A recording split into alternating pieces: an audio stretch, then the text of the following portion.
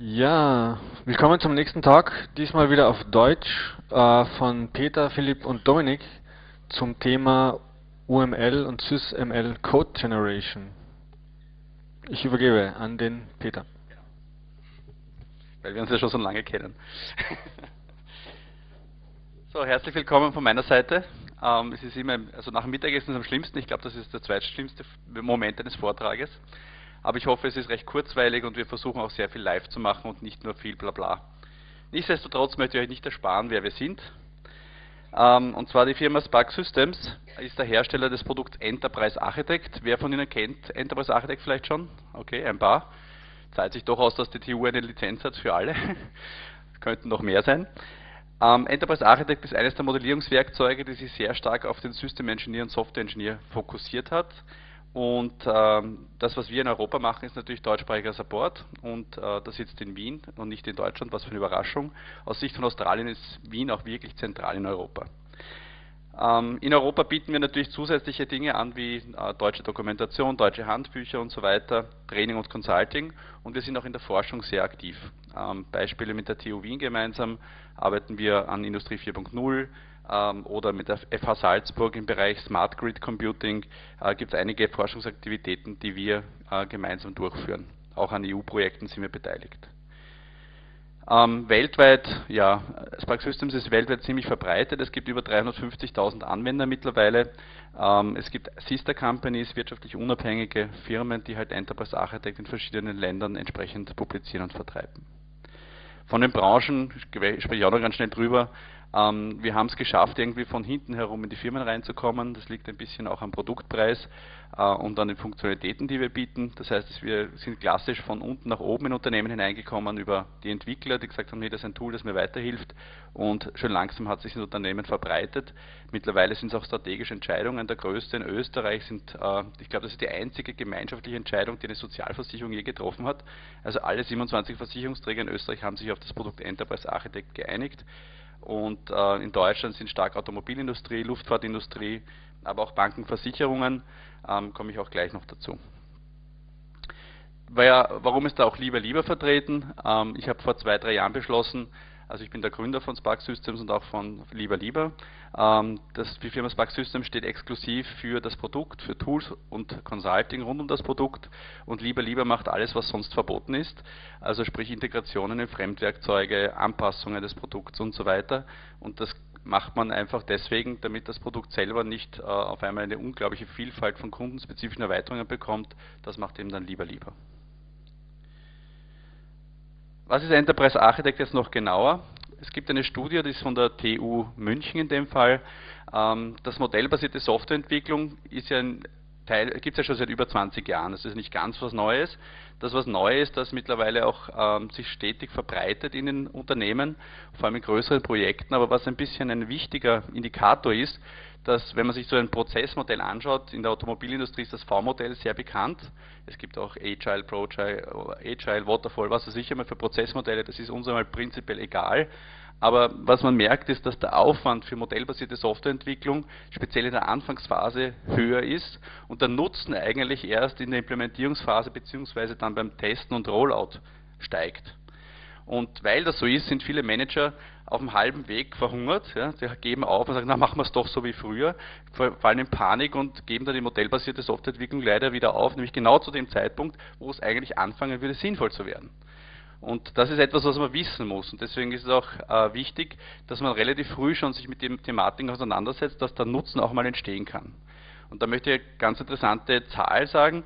Wie viele, äh, wie viele Servicefälle glaubt ihr in der, so in der Automobilindustrie sind auf Software zurückzuführen? Also sagen wir mal Handzeichen, sagen wir 10%. Wer glaubt 10% aller Servicefälle? Wer glaubt 100%? Okay, in der Mitte 50%. Okay, also es sind 50%. 50% aller Servicefälle von modernen Autos sind auf Softwarefehler zurückzuführen. Äh, und das ist natürlich dramatisch. Woran liegt das? Ähm, ein kleines Beispiel aus einem ABS-System kennt man mittlerweile auch. Das ist das System, das dann funktionieren soll, wenn es rutschig ist und der Reifen durchdreht oder zu blockieren droht.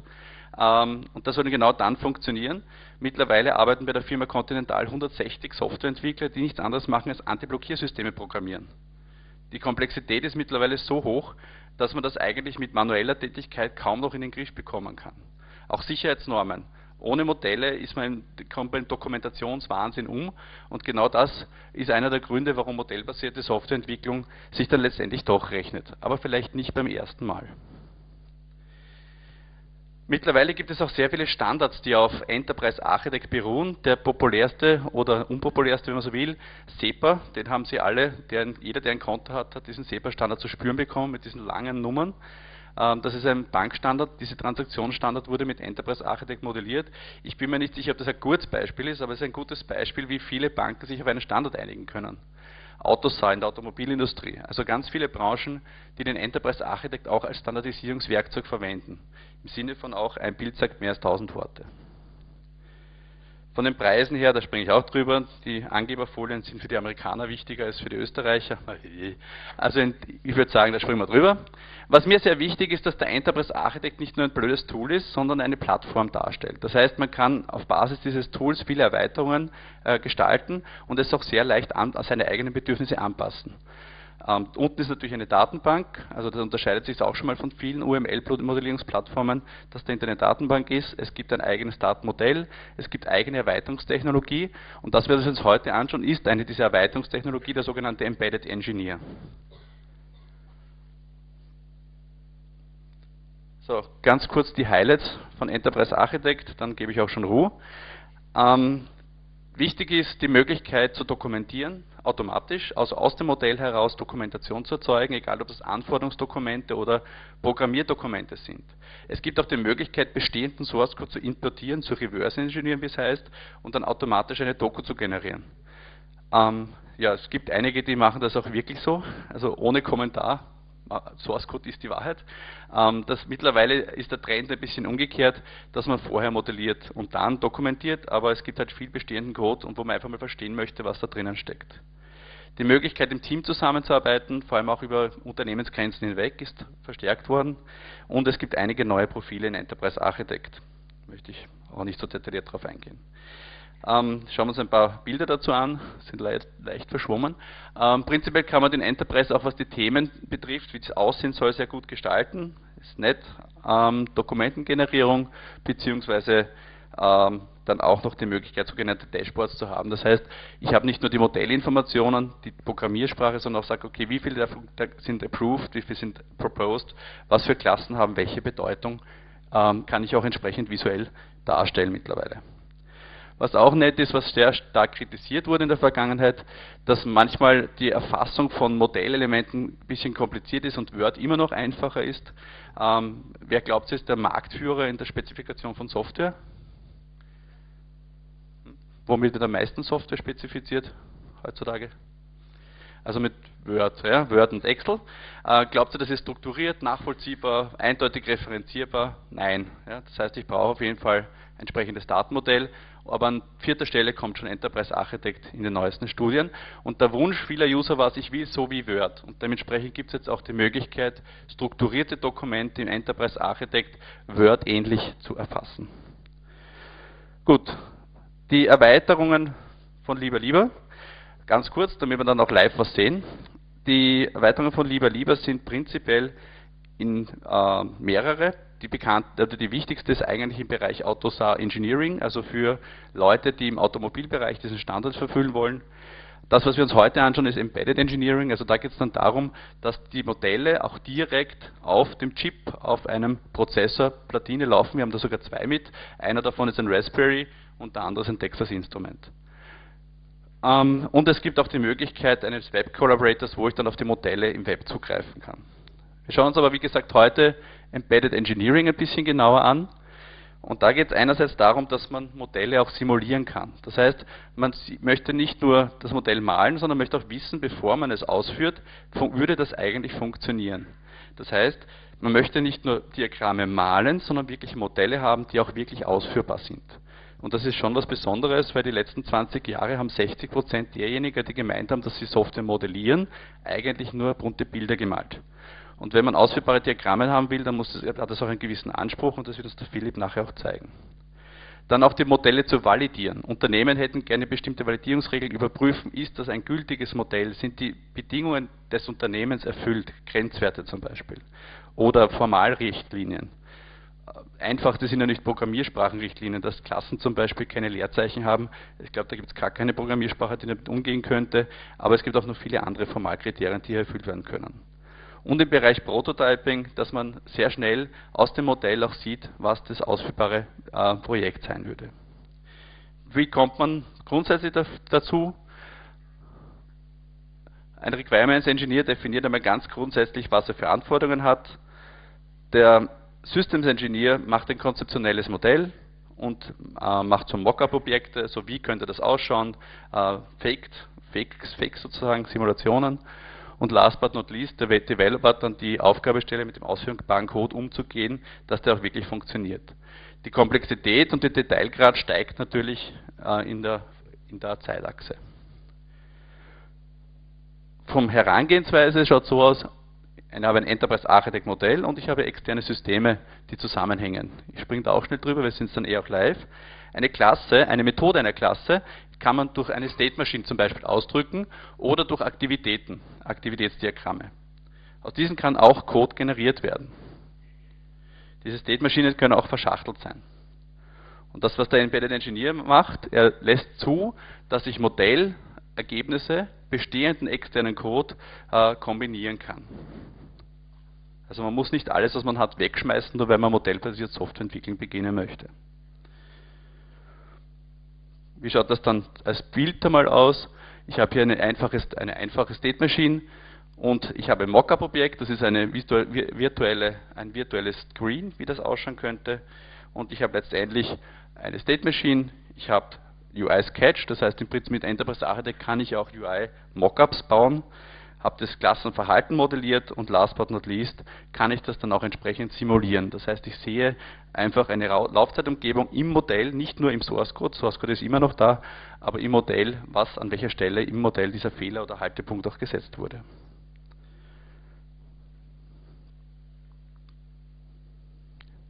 Und in diesem Sinne übergebe ich jetzt an dich.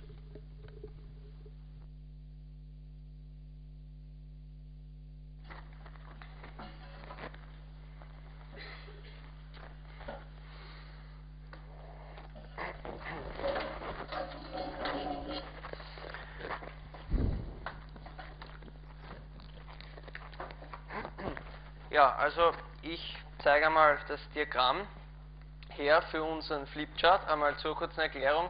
Dieses Flipchart wird bei uns äh, in der Firma verwendet, um einen guten Überblick zu haben über unsere ganzen Bildprojekte.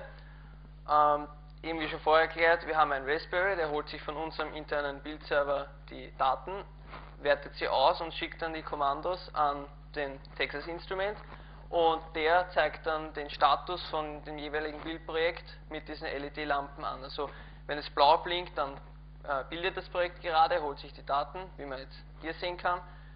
Und wenn der Bild dann abgeschlossen ist, je nachdem grün ist ein erfolgreicher Bild, rot ist ein Bild fehlgeschlagen. Ja, und äh, den Code für den Texas Instrument, der wurde eben aus einem Diagramm generiert.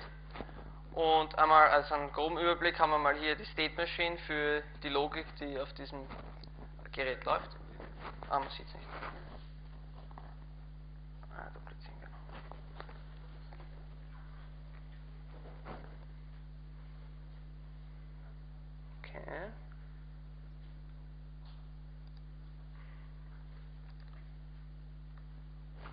So, jetzt hat man mal einen groben Überblick über diese State Machine. Also, wenn man mal anfängt, äh, ein Diagramm zu erstellen, fängt man an mit, man definiert diese Klasse. Ist jetzt in unserem Fall die Klasse Projektampel. Man kann hier bei so einer Klasse eben äh, Operationen definieren und auch Attribute. Diese, Definition, äh, diese Operationen, diese Methoden werden dann später in den jeweiligen ähm, Zuständen aufgerufen und alle ähm, Klassen, die man hier verwendet, kann man mit, einem, mit einer Use-Verbindung äh, verknüpfen. In dem Fall muss man hier, das ist äh, bei diesem Embedded Engineer ähm, vordefiniert, dass man diese Klasse FSM State Machine, dass man die immer verwenden muss. Die wird auch mitgeliefert, die kann man sich auch schon rauskopieren, die ist schon festgelegt. Okay, dann, äh, wenn man noch weitere Klassen verwendet, zum Beispiel äh, jetzt für C äh, String, muss man das mit dem Interface auch verbinden. Und man kann auch noch Type-Tests machen für int8 underscore t oder bool, kann man das auch festlegen. Okay, dann haben wir noch hier in unserem Diagramm eine State Machine angehängt. In dieser State Machine ist dann ganze Logik von dem Gerät. Das kann man uns hier drinnen anschauen. Also grundsätzlich mal haben wir einen Initial Point. Dann wird in dem ersten Zustand einmal die, die Objekte für die, für die Hardware, also für die LEDs initialisiert. Und dann fängt auch der Hauptzustand, der in einer Endlosschleife, in der Endlosschleife läuft, der fängt dann an. Also, wir haben hier die Methode Trigger LEDs. Da gibt es wieder einen Initial Point und am Anfang holt er sich die Daten von dem Raspberry. Hier wird die Methode, die zuvor in der Klasse äh, definiert wurde, Fetch Raspberry Data, wird hier aufgerufen. Dann kann man mit diesen ähm, Guards, heißt das, bei diesen äh, Übergängen, kann man äh, bestimmte Bedingungen festlegen, ob er in den nächsten Zustand übergegangen wird oder nicht. In diesem Fall äh, werden Daten gelesen, wenn Read Bytes hier äh, 0 ist, kommt man wieder an den Anfang der Schleife und die Daten werden wieder gelesen, also ein nächster Versuch wird gestartet. Ist der Lesevorgang erfolgreich, holt man sich die Command Data, also die, Dat die Kommandos, die für, für die LEDs ausgeführt werden.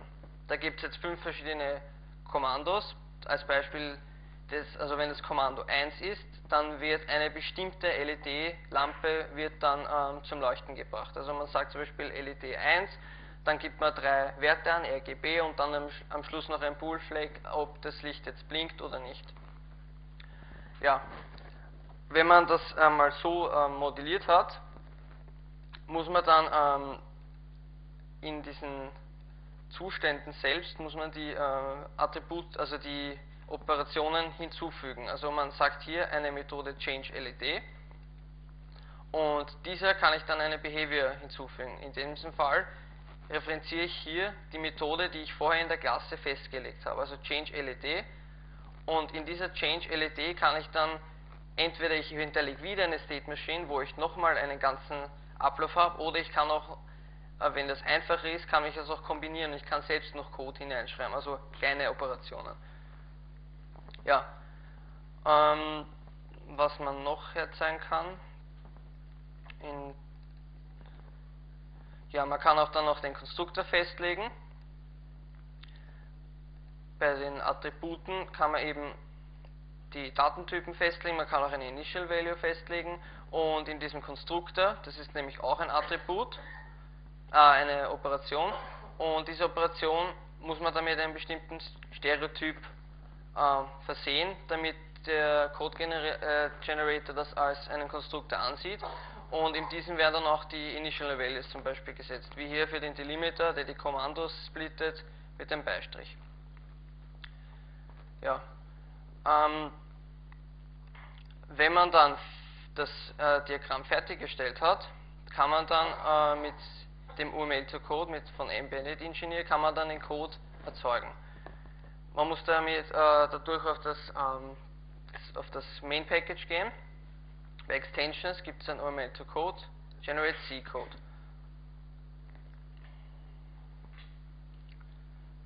Wenn alles funktioniert hat, ist der Code äh, richtig generiert und man kann sich hier dann den generierten Code auch ansehen. Also das einzige, was man jetzt hier noch selbst reinschreiben muss, ist in dieser Main-Methode den Aufruf von unserer Projektampel jetzt in dem Fall. Man initialisiert zuerst ein Objekt von dieser Ampel, ruft dann die generierte Init-Methode auf mit dem Ampelobjekt und dann in einer Endlosschleife ruft man jeweils dann immer wieder diese State Machine auf. Und das ist dann logisch so gelöst, dass ähm, diese Zustände haben alle, also die werden alle in einem Switch-Case durchgegangen und nach jedem äh, Durchgang von diesem Switch kommt die Methode wieder an diesen Punkt und die Schleife, also der die State Machine Methode wird erneut aufgerufen und weil sich aber der Zustand geändert hat und ein Zustandsübergang stattgefunden hat, äh, wird dann ein anderer Switch Case äh, betreten und dadurch wie, so werden dann diese Zustandsübergänge gelöst. Ja, ähm, und eben wie vorher schon erwähnt, mit dem zweiten von Embedded Engineer kann man ähm, den Source Code dann auch debuggen, sowohl im Visual Studio als auch direkt am Diagramm, eben mit diesem UML-Debugger. Ähm, ja, was ich vorher noch erklärt habe, dieses äh, FSM-Objekt, also diese Klasse, die ist standardmäßig schon hinzugefügt. Das kann man so äh, schon hinzufügen. Und ähm, ja, diese Methoden, die man hier definiert, können wir uns auch noch anschauen. Ähm, zum Beispiel in Change LED. Die kann man dann auch noch, wenn man möchte, einen Code manuell einfügen. Ja, ähm, und für diese Attribute, äh, wenn man zum Beispiel hier ein Array definieren will, zum Beispiel diesen Command Buffer, wo dann diese Kommandos übertragen werden, wenn man ein Array definiert, dann muss man in den, fügt man es zuerst so zu, hinzu wie ein normales Attribut, aber dann kann man hier bei Detail kann man noch äh, Lower Bound und Upper Bound setzen und dann wird das automatisch als ein, als ein äh, Array angesehen.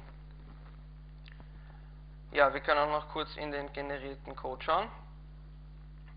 Wir haben hier in, also es werden, wie es beim C-Code üblich ist, äh, die Header-Dateien und die normalen Source-Code-Dateien erzeugt. Wir haben hier die ähm, Header-Files, einmal für unser Projekt Ampel.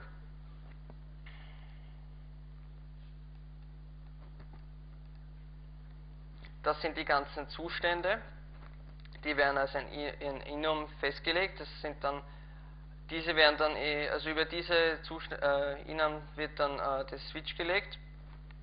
Und wir haben dann auch hier diese Methoden, die sind alle definiert und da wird überall ein, ein Objekt von dieser Projektampel übergeben. Und in der Source Code Datei sehen wir dann, hier ist diese State Machine, die in dieser Endlosschleife immer wieder aufgerufen wird. Und man kann jetzt sehen, dass immer über diese, also diesen Main State, der wird am Anfang gesetzt und da kommt man als erster in diesen ersten Zustand, der standardmäßig dieser LED Initialization Zustand ist. Und dann wird in diesem Zustand der nächste Zustand auf aktiv gesetzt, das ist nämlich der Get Raspberry, also der Trigger LEDs Zustand. Und in diesem Zustand wird dann äh, die nächste Methode aufgerufen, wie wir hier sehen, Fetch Raspberry Data. Ähm, ja. Und wenn man das dann ausführt, kann man das dann eben mit dem UML-Debugger schön debuggen und das wird uns dort sein.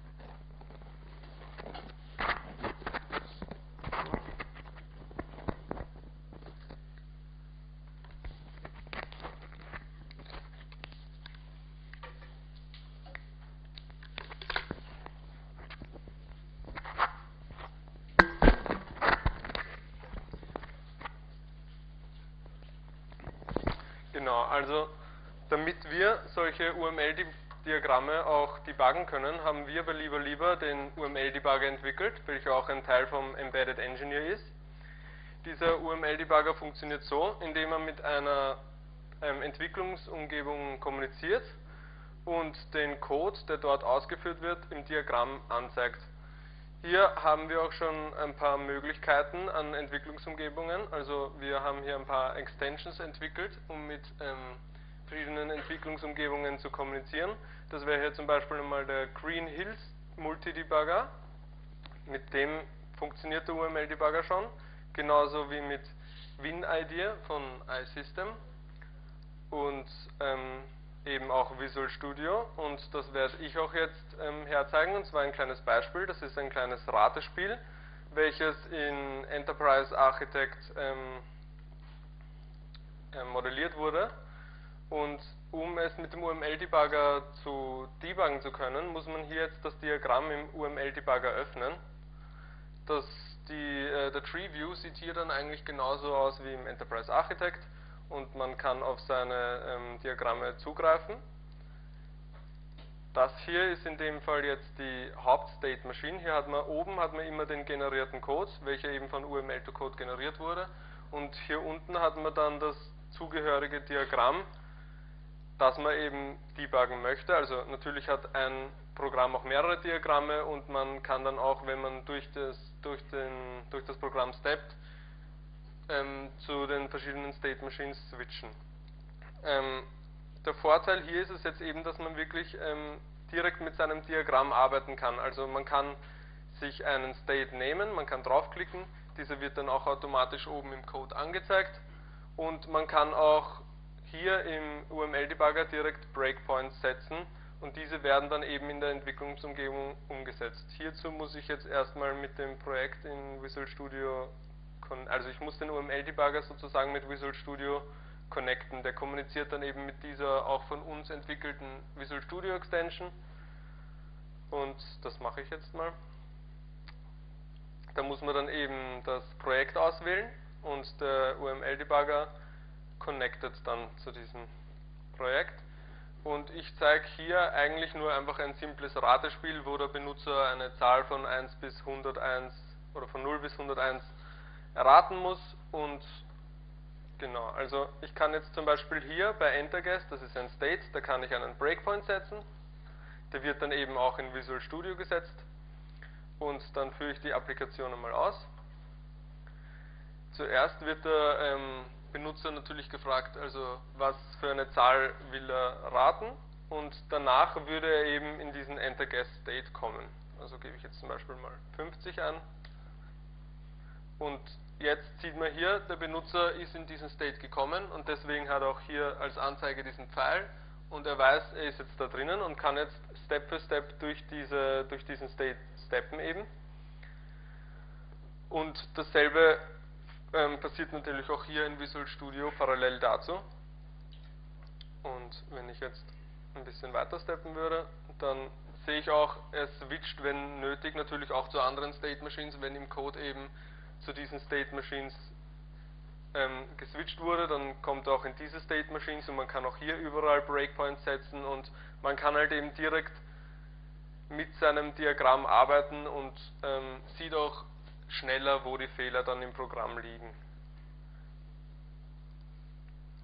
Und ja, in dem Fall war mein, also mein Rateversuch zu hoch und ich darf nochmal raten und so geht das dann halt immer weiter. Man kann sich sein Diagramm anschauen, kann Breakpoint setzen, kann das Ganze debuggen und der, das Ziel von uns ist es einfach, dass der Programmierer dadurch eine bessere Übersicht bekommt, einen besseren Bezug, also vom Code zum Diagramm und dass er auch die, die Fehler schneller findet.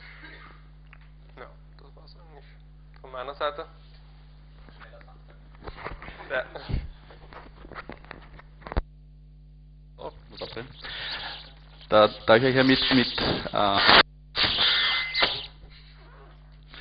da ich euch mit Marketing nicht so viel langweilen wollte, sind wir jetzt ein bisschen schneller geworden. Ähm, Gibt es jetzt zu dem, der Möglichkeit, UML zu debuggen, beziehungsweise C++ und UML zu debuggen, Fragen? Kann ich nicht glauben.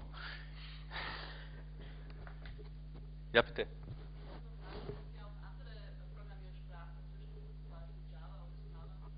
Ja, also der Enterprise, also die Frage war, ob wir auch andere Programmiersprachen unterstützen. Der Enterprise Architect selber unterstützt 13 verschiedene Programmiersprachen. Der UML-Debugger derzeit ist ausgerichtet auf Embedded. Ähm, grundsätzlich ist es aber so, dass der Enterprise Architect jede Art von äh, Modell simulieren kann. Da geht es, ähm, das heißt, wir haben für Java, ADA, Fortran. Sie können auch eigene Programmiersprachen ergänzen. Sie können auch, es gibt auch einen Grammatik-Editor, wo Sie Ihre eigene Grammatik für eine neue Programmiersprache hinterlegen können, die dann als entsprechendes UML visualisiert wird. Also wenn Sie eBMF-Grammatik äh, können, dann können Sie den Enterprise Architect auch mit eigenen Programmiersprachen erweitern. Also 13 sind standardmäßig dabei. Standardmäßig, wie gesagt, wird simuliert. Äh, Im Bereich Embedded ist es so, äh, dass die Kombination mit Debuggern, also Visual Studio ist ja kein klassischer ist ja schön zum Herzeigen, aber klassische Hardware-nahe Debugger sind von Green Hills, iSystems, Lauterbach, PLS, ähm, die dann auch auf dem Chip direkt debuggen können, also auf der Hardware und nicht nur auf dem Simulator. Und das ist eigentlich das Besondere und das kann eben nur dieser Debugger. Java auf Hardware ist äh, noch ein bisschen ein Exot.